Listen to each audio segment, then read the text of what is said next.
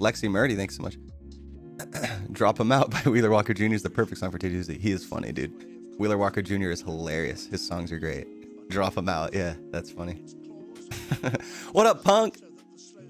Uh, dude, I always I had this drummer that always told me I wasn't good enough, and I went through this whole year of self-doubt and lessons with teachers, and almost destroyed my voice trying things that just didn't work for me. I've never been more comfortable and in control of my voice and literally just being myself and letting it happen. Hundred percent punk.